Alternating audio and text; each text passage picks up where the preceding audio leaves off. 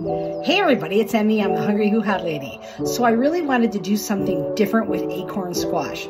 Normally we put like a little bit of butter and uh, brown sugar in it, but I didn't want the sweet. So while I microwaved the acorn squash for nine minutes, I peeled and sauteed zucchini, onion, and about a half a cup of garlic and a little bit of olive oil. I added a third of a cup of vegetable cream cheese, uh, a squirting of you know, my cheeky monkey tomato garlic oil.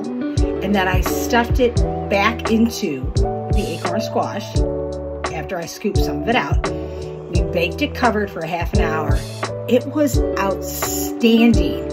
Add something like sausage and you have a full meal. So here's what it looked like, how the progression went, and I think you should try it. It was yum.